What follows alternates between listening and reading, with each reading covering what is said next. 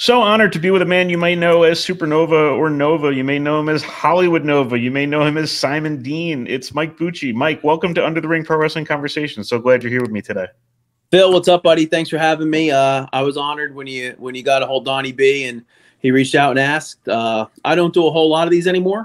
Uh, I'm wrapping it up on December 3rd, so I'm sure I'll stick around every now and then. But uh, for this one, fellow Jersey guy, I had to say yes. So so we'll start with what you've got going on December 3rd, uh, Barnabas Arena, Toms River, New Jersey. There's a big pro wrestling card going on, appearances by Sting and Jerry the King Lawler and Sergeant Slaughter.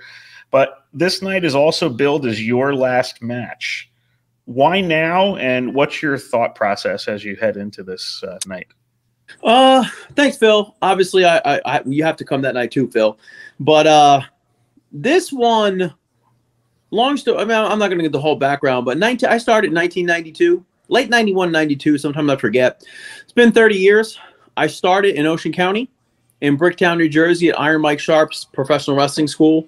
Iron Mike is an old time veteran. If you guys didn't know who he is, look him up. Uh, he was my original trainer. so I started 30 years ago. I've been out of full time wrestling now for over a decade.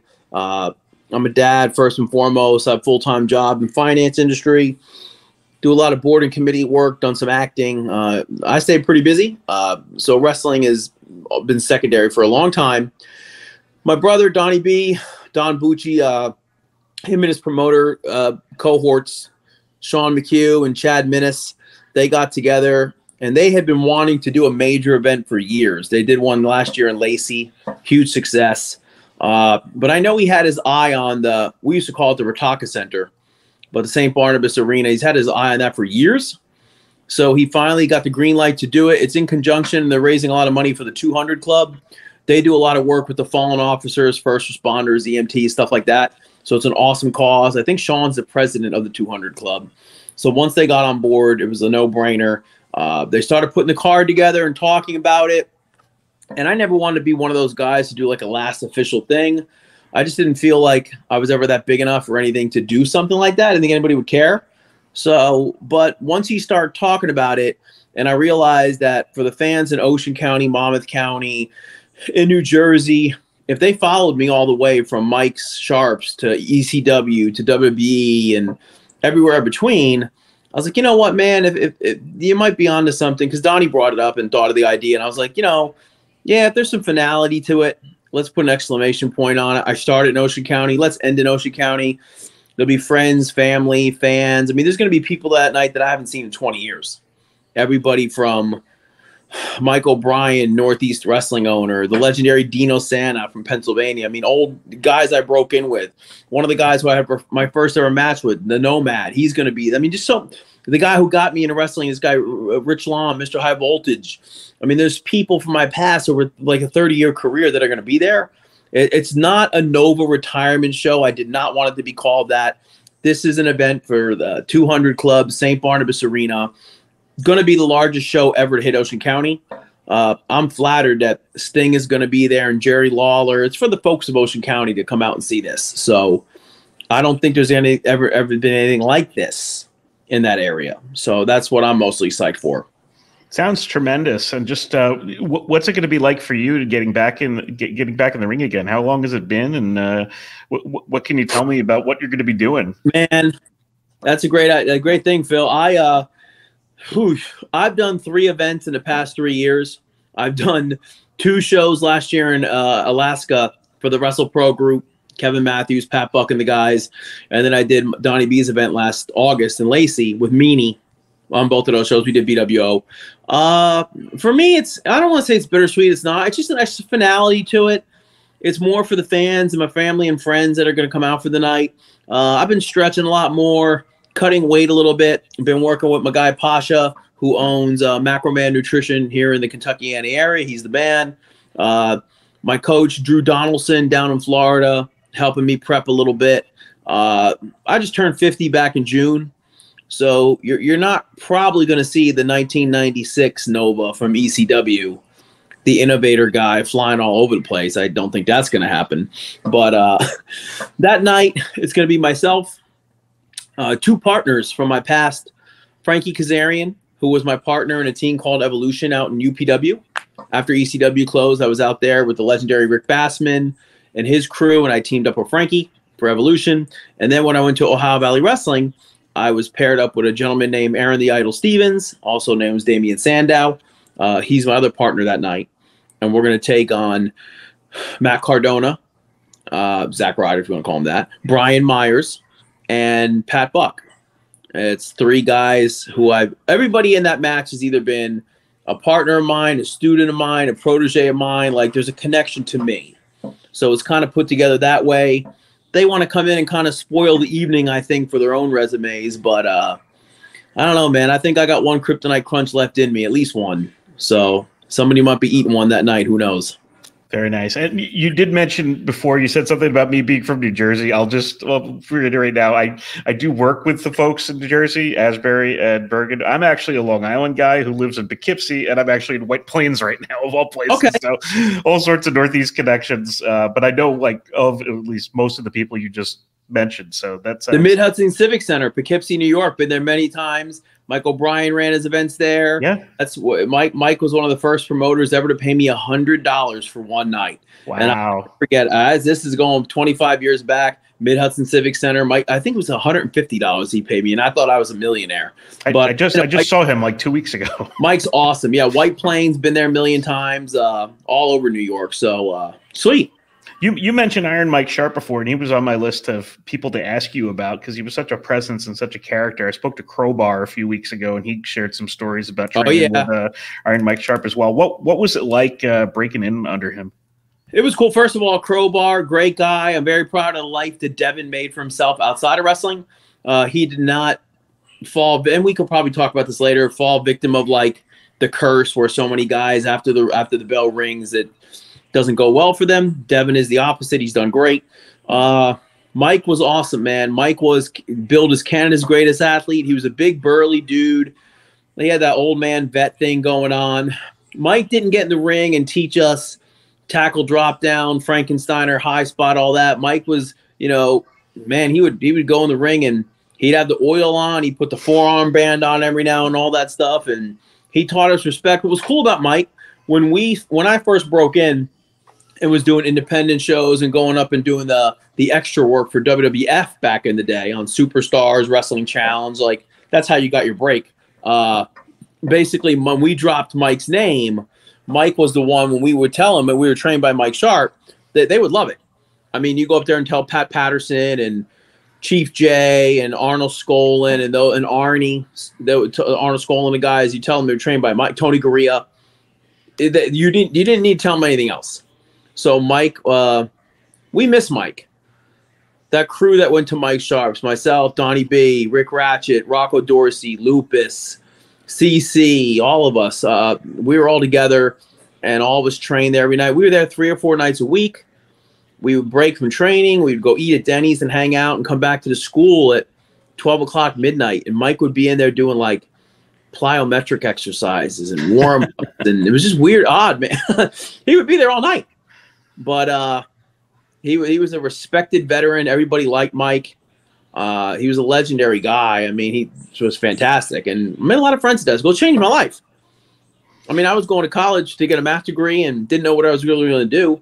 A buddy of mine, Rich Lom, was going to Mike's school to train to be a wrestler, and he invited me to go watch. So we would watch, and uh, about a month into it, Mike just kept asking me, "Hey, you want to go and try it out?" And I tried it, and I figured it would be like baseball league, bowling league, softball league, something to do on the side and have fun with. But I certainly didn't imagine 30 years later I'd be talking to Phil Strum talking about my retirement at the Ritacco Center. You know, I've been in WrestleMania as I wrestled in Tokyo. I've been around the world, and that's crazy that that journey started at Mike Sharpe's. That's great. You were always one of my favorite guys to watch in ECW. Thanks, man. What was what was it like the first time you made contact with them, and what's it like the first time you stepped foot in ECW? Great question. So to this day, it was probably that was scarier for me than it was walking out the ring at WrestleMania in Los Angeles. It was. Um, I, I won't go too much in depth, but I was at an independent show in New Jersey. Uh, the main event was Raven versus I think Mikey. ECW was just starting to explode a little bit. I was buddies with Stevie. So I was on this independent show doing my whole superhero act. And at intermission, you know, I would come out running and do cartwheels with the kids, and I had the cape and the makeup and all that stuff. And at intermission, one of the t-shirt girls pulled me over and said, "Hey, Scotty wants to talk to you." I said, "Scotty?" She's like, "Yeah, Raven." I said, "Oh, wow, okay, cool." So he pulls me aside, starts talking to me, tells me that he loved my act. He's like, "What is this, like Adam West Batman?" I said, "Yeah, it's this corny superhero thing."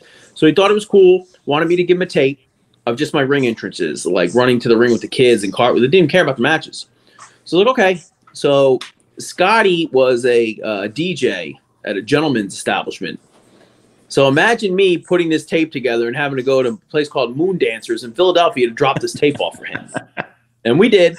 And sure enough, like a couple days later, I get home from work and uh, my mom was like, "Hey, there's a guy named Raven on the tele on the answer machine for you." so I play it, and he's like, "Hey, kid, uh, you know, uh, I showed your tape to Tommy and Taz, and they really loved it, man. You know, come on down." You know, what Scotty was doing at the time, he was building the original flock. Right. He had Stevie in it, and he had me in it, which he told me about. He's like, "You'd be the per- you'd be the perfect guy to be in the flock with us, man." So like he was using us as athletic camouflage to build his act and all that, and use us as like chess pieces and stuff. It was brilliant. And so I, I he, he invited me to go down to the arena, and ECW had that man. Whenever I can't explain it, Phil. If you went, you saw it, but there was like an underground kumite like fight club vibe to it. That's the best way I could describe it. And it was like an underground cult thing. So I'd only been to a couple shows. Stevie got us tickets and stuff. So I go and I'll never forget. It was Ronnie Lang from Atlas who I walked up to and I said, Hey, can you go in the back and tell Scotty that Nova's here to see him? And Ronnie popped his head out of that that mythical magical curtain of the ECW entranceway and like waited for me to come back. And I walked in the back, and the first one I ran into was Beulah and then Tommy. Tommy handed me a hot dog and said, Hey, Scotty wants to be a part of his act, man. Here's your first payday, and handed me a hot dog. And I had known Tommy from several independent shows.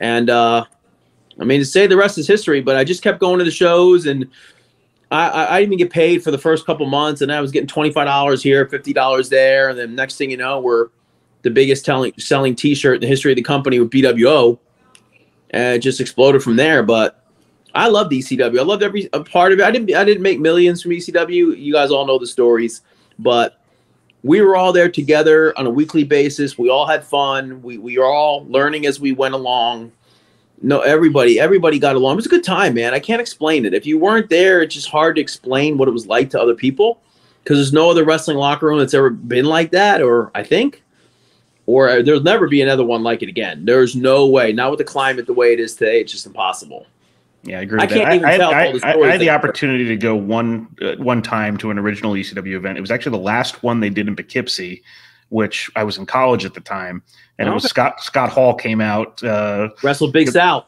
Yep, and then he wrestled Justin Credible in the main event. They, he opened and closed the show. We didn't even know Scott was there. We're all sitting in the back just doing our thing. Next thing we turn around, he came with PJ because right. he was friends with PJ.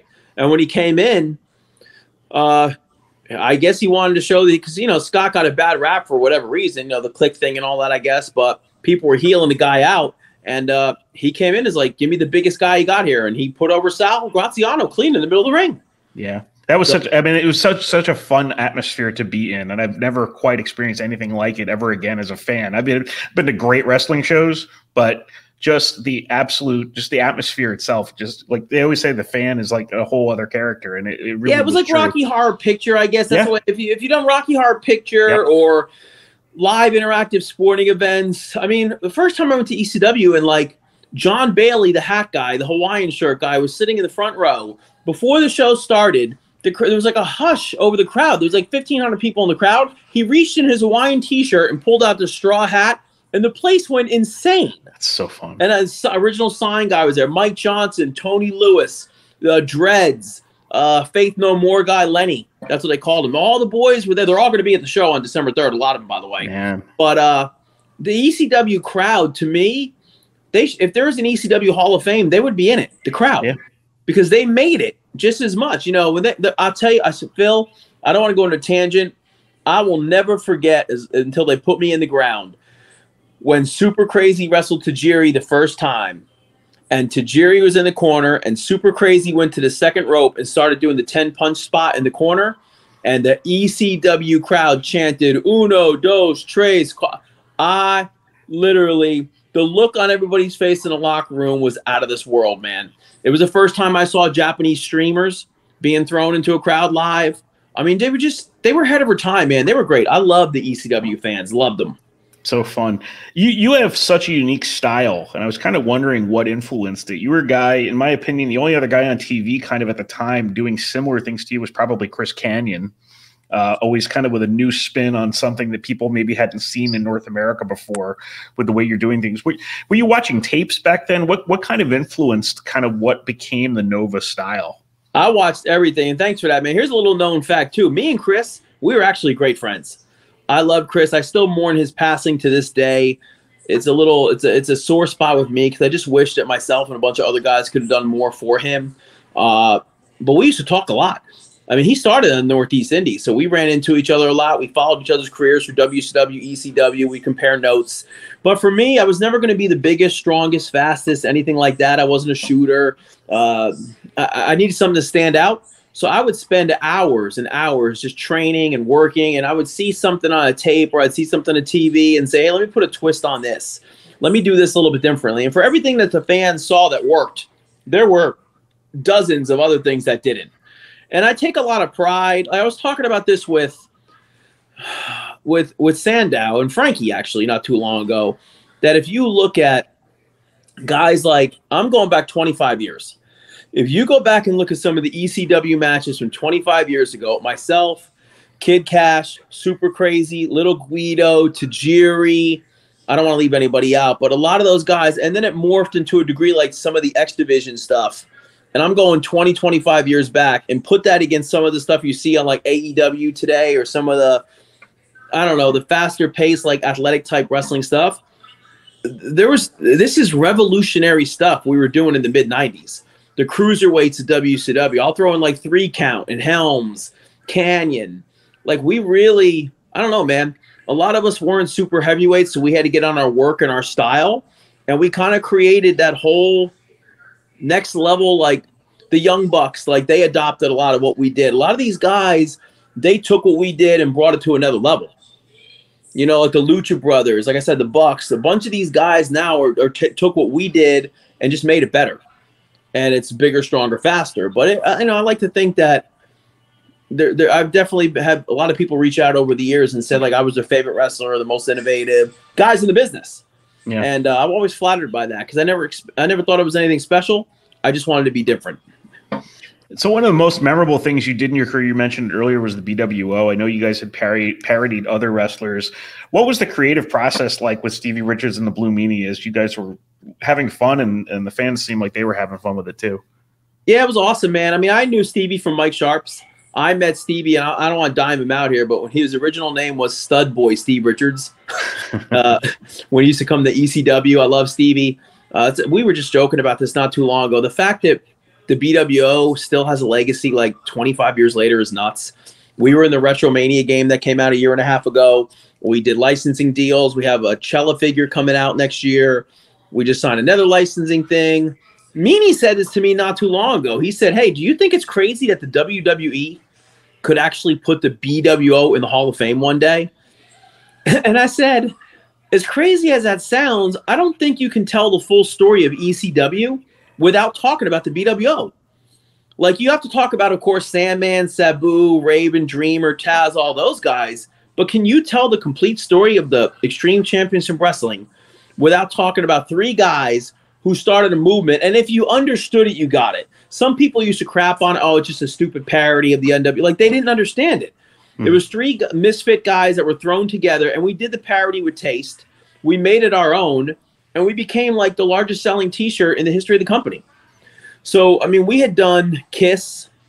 We did a bunch of parodies. I remember when we did Kiss, and we came back from that and then the place was going nuts. And I want to say it was maybe Bubba that said to us, "Man, you know, you guys got to like do something even bigger. Than that you should try the NWO one day." We'd already been talking about something bigger, so we just started talking about parts and divvying it up. And next thing I know, it's Big Stevie Cool, it's the Blue Guy, and I'm Hollywood Nova. And I went home and I, I knew we were going to debut it November to Remember '96, and uh, I remember sitting home in my basement making the BWO signs and putting the weight belt together and doing this stuff. And it was always supposed to be like a one off. And I remember us doing it, and it got such a reaction. I think we made like a hundred or something shirts, the BWO shirts we had. I think Jeff Jones and a printing company, course, somebody helped us out with those, getting those done for that initial night. So after we debuted, uh, it was like midway through the show.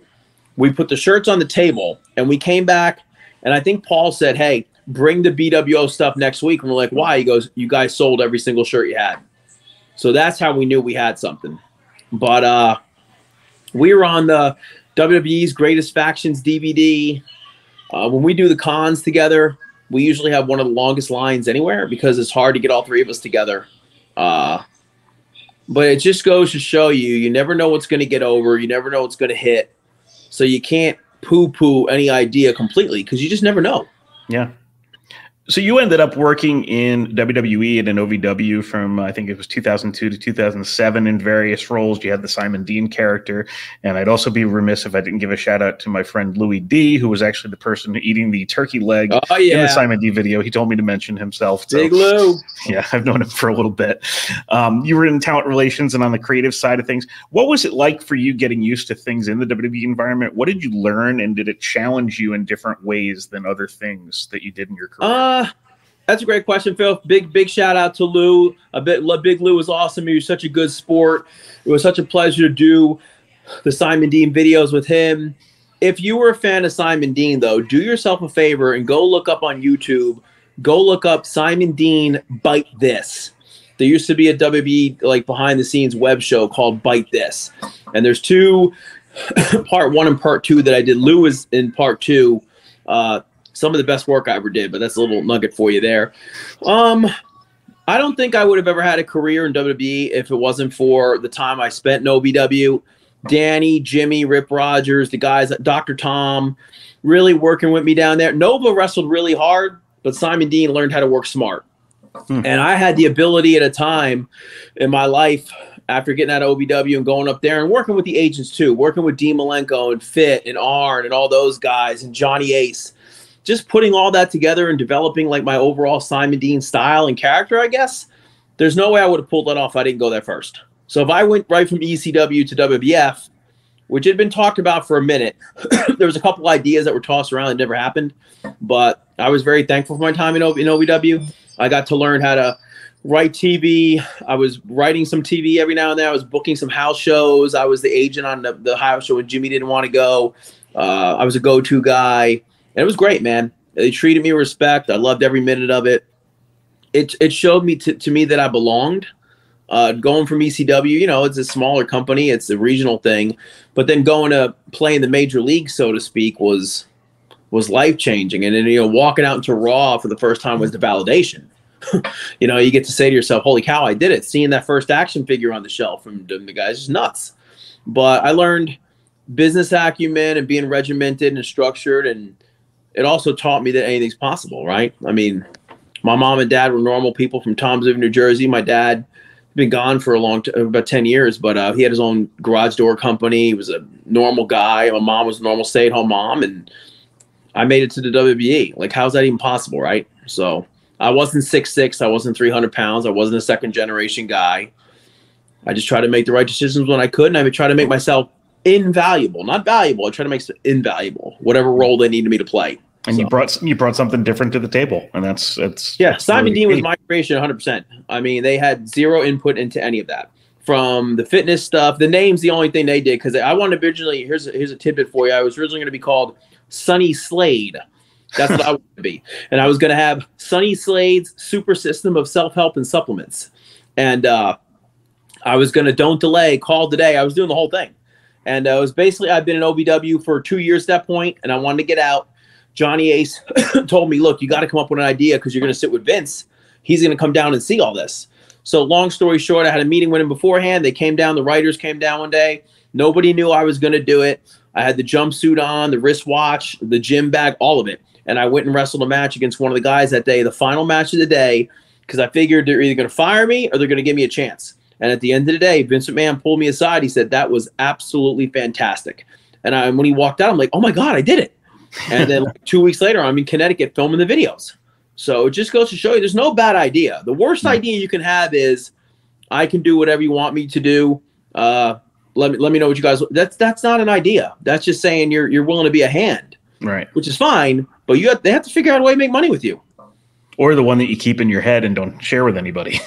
yeah, uh, yeah. I mean, that happens too every now and then. I mean, look, I wanted to be a, a my original before Simon Dean. I wanted to be a guy who was like a like Johnny Cage from Mortal Kombat in the mm. middle of my matches, I was going to take like selfies with a with a felsa on the side. I was going to have advertisements like on my tights and sponsorships after the match. And you know, man, I can't believe I won that match. Thank thank God for this energy drink and all that kind of stuff. And I remember giving that idea around, and they didn't do anything with it. It kind of transformed itself over the years, but uh, Simon Dean was just a natural extension. I was ISSA certified. I knew training. I was into working out and I kind of talk fast, like that whole New Jersey Northeast kind of slick vibe a little bit. So it was just it was just going from putting on workout clothes to putting on a jumpsuit to go stand in the ring. Like there was I didn't have to transform in anything. I didn't play a character. I just was myself, just dressed in a purple jumpsuit. As somebody who evaluated talent in wrestling, what were you looking for when you were watching an unsigned talent? And has what WWE looks for in talent evolved kind of what makes it to tv is that evolved what do you how do you kind of see it now with them I would. Oh, that's a good question. I always prided myself on talent. I hired. uh, my first official hire was Kofi Kingston. Uh, I hired Santino Marella. I hired Drew McIntyre, Sheamus. Uh, I'm not getting into the list. There's a lot of guys, uh, a lot of people I gave chances to. We got them in there. Uh, I would look for guys who just stood out a little bit and guys who wanted to get something done, guys who wanted to actually give this a shot. And I like the people, and this is going back a long time 15 years plus. I, my biggest thing was, what are you doing currently to help your cause to become a WWE superstar. It was always a little bit weird to me when someone would say, "Man, this is my whole, this is my dream. This is all I ever wanted to do." and they're like 28 years old and they never went to a wrestling school that might have been five miles from their house. They didn't even have a friend named Jim, let alone go to one. Like it just was weird to me. So I looked for guys who had a little bit of sweat or girls uh, who had some sweat equity, who wanted to do this, and uh, they gave it a shot. Now, that being said, the business has changed. You have to change with it.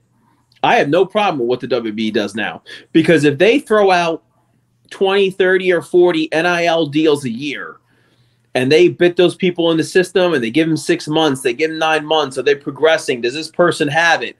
Guess what? If they don't feel they have it and they give up on them after six months or a year, and then that person maybe goes to the indies or does something and, and progresses in his career or just keeps trying, and then they get a second chance or a third, who knows, or they never get seen again. But if the WB just gets like one or two super mega superstars out of that, it's well worth it. Yeah. So they're taking people who are athletes and who have shown they can be trained because they've been somewhat successful in the athletic thing they're doing, and they're going to try to teach them pro wrestling. They might not necessarily have been a lifelong fan, but at this point, it's a little bit easier to get signed. And I, I say this to all the indie guys out there because I don't want to, you know, don't give up hope, man. Mm-hmm. T- talent rises, bro, and, and tides change. So if you got the goods one way or the other, they will discover you. Don't believe me? Go ask Pat Buck. Nobody in the history of my career being around them ever worked harder to try to get a deal than Pat Buck. Now, he didn't make it as a national talent as television, but you know what? He aged in several of the matches of the last WrestleMania. Yeah, I think he did the main event actually. Yeah, he did pretty good for himself. and then he wasn't even released for 24 hours, and AEW couldn't wait to get a hold of him. Yeah. so, what today is, I would say, is if you're an indie guy, keep going keep your head up, keep trying, but don't begrudge somebody who's coming in. Like I remember when Matt Cappotelli and John Hennigan had won Tough Enough. Neither one of them had spent years in wrestling schools before they came to OVW. And when they came down, and God rest Matt Cappotelli's soul, the, the finest human being I ever met. But uh, you know, when they first came to OVW, they were married to myself and Aaron Stevens for like six months. And it was our job to get them up to speed and teach them the business and, and try to get them moving. We could have guzzled them every night and beat them in four minutes. But next thing you know, within a matter of a month, they're doing 20 minute tag team matches every night and they're looking incredible against us. Yeah. So I never, I would tell a talent today, don't be frustrated for your lack of your position right now. If your time comes, it comes. If not, do the best you can. This is a, a work sport controlled by others. You can control your attitude, you can control your look, your matches as much as you can, and what you put into it, but you can't. There's so many variables you can't control in this. So you can't get bent out of shape about it, man. I, have been there, guys and gals. Trust me. You know, you want more, you want to achieve more, you know, you have so much more to offer, and, and I get it. But in professional wrestling, the best way I can describe it, you're an artist, right? And sometimes you get to paint with oils. Sometimes you got to paint with the watercolors. Sometimes you get some latex, or sometimes you get some spray paint. You're still an artist. You might not be painting a Van Gogh, you might be doing a finger paint. But it, it depends on the art gallery owner and what he wants to see from you. So Interesting. So we're going to move to, on to something we call the three count now. It's going to be three yeah. quick questions and your answers. Which persona of yours do you think had the best connection? You had the best connection with? Let me restart that question entirely yeah. because I didn't word that well at all. which persona of yours did you think you had the best connection with, and which one do you think resonated best with the fans? I think the fan base, the diehard fan base, loved Nova because they saw me come from a goofball running around Raven at ringside to on the last pay per view. I got one of the best reactions of the night when I came out and and you know beat up Chris Hamrick and all. I love Hamrick too, but I think the fans saw my journey from underneath guy to legitimate main event guy in ECW. Uh, if we didn't go out of business, myself and CW Anderson would have traded the television title for a bit. And I think I could have pulled it off. I think I could have been ECW heavyweight champion one day. I really do. Uh, it didn't work out that way. Personally, I connected with Simon Dean more because Simon Dean wasn't a gimmick. I mean, it literally, I created all my own promos. I never got a script. I never ran anything by anybody. I freewheeled all my own stuff. I never memorized anything. And it, I literally would be in the back finishing a protein shake and just, hey, and just as soon as me, just walk out the curtain and do it and just come right back and continue what I was doing. There was no flip switch, switch flip, none of that. It was just, but yeah, the fans, I think they like they love Nova, and uh, the, the, true diehard fans kind of hated Simon Dean. They were like, "Oh my God, this goes against everything you were," and I get it, but I loved being Simon. There was nothing better, man. When I wrestled like Matt Hardy or Bob Holly or any of the, the Benoit, any of the guys, Jericho, Ray, and we'd be in the ring and eight minutes in, you get a uh, you know hit them with something and try to roll them up and count two, and they would kick out, and the whole crowd, would, ooh, man, I wouldn't trade that for anything. Outstanding. Uh, so you spent a lot of time in OVW, as we mentioned. Who in your time there was blatantly obvious that they would be like a huge success? And is there anyone there who surprised you either positively or negatively when you were there? John Cena. I knew John from California at UPW when he was a prototype. My first night in OVW, I beat John for the OVW title.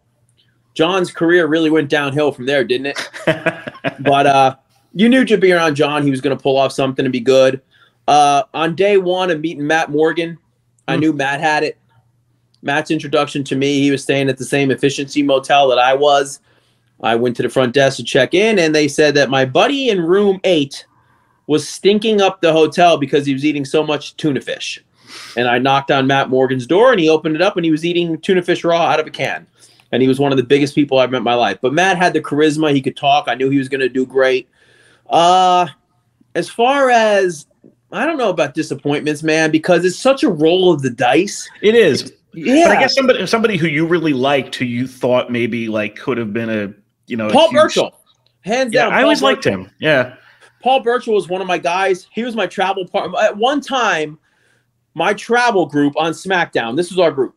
Myself, Paul Burchill, Bobby Lashley, the Boogeyman, and Jillian Hall. That was the five people who used to drive around a car. Now, Lisa said I was the dad of the car. I was, let's go, we got to go. Have you ever talked to Jillian Hall? Ask her about the story about the time she tried to order a Frosty from Wendy's and I almost blew a gasket. But that was our crew. Uh, but Paul Burchill, I thought he deserved more from WB. The Ripper was a fantastic gimmick. Uh, it was awesome. He was just a good dude. There's so many people that they missed over the years. They just missed with, and it sucks because I think they they kind of neutered their own business. I mean, they're they're back on track to a degree now. I guess yeah. I don't watch it a whole lot, but there's a lot of guys, man, who I think they had a lot more left on the table with, and they just didn't get it. So, and a lot of it in wrestling is timing. Sometimes, just when yes. when, when you when you show up and who's making the decisions for you. All that matters, man. It's a work sport. I hate to say this word, but work sport run by kind of marks to a degree. They have an agenda. You're just a, a, a chess piece. So you, I mean, you could be the, what I mean. Eventually, if you're good, you'll get a shot. But I could sit here and list 20 guys who you say, "Oh yeah, I forgot about them." Like, how do you blow it with Sean O'Haire? How'd you yeah. blow it with Mark Jindrak? How'd you blow it with Kevin Seven, Luther Reigns? There's a lot of guys, man. It's like, oh man, they were so close. Yeah. And it's just it didn't work, and that's fine because it's wrestling for most of these people. If you're listening to this podcast and you're in the business, wrestling is going to be a in in ring wrestling. Your career is going to be a lot shorter than you think. I mean, if you live to be 80 years old and you're in the ring for 10 years, that's an eighth of your life, right? I mean, it's like, I don't know. So sometimes it's the most important thing in the world to you, but you just have to take a step back and say there's a lot more than just being a guy who can wrestle. So very good. And finally, when you look back at the entirety of your career, what's your legacy? Uh, I was thinking about that, Phil, because I'm thinking about what I'm probably going to wind up saying at the end of the night on December 3rd. what I want is to be remembered as a guy who always tried his best, tried to do my hometown of Toms River proud, have my family be proud of what I accomplished, a dude who fought and made it despite every conceivable obstacle you could ever have. I overcame that. I showed that you can make the impossible possible. I left the best business in better shape than I found it, which not everybody can always say. But the number one thing that I wish if and I've had guys say this to me, they they were like, "Man, you're the guy I want to be like when I'm done with wrestling." Because I showed that wrestling sometimes if you I mean, we all saw the movie The Wrestler, we've seen these stories, we know the stories. Guys, girls, we don't have to wind up a statistic.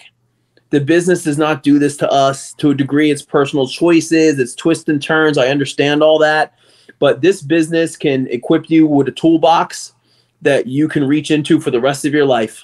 How to talk, how to stand out, how to cut promos, how to get over, how to work a room, just how to work in general. And it, it just, I wish more of my wrestling brothers and sisters would realize that life does not end when the bell rings. Uh, and and you can accomplish. I, I mentor a lot of guys post wrestling career.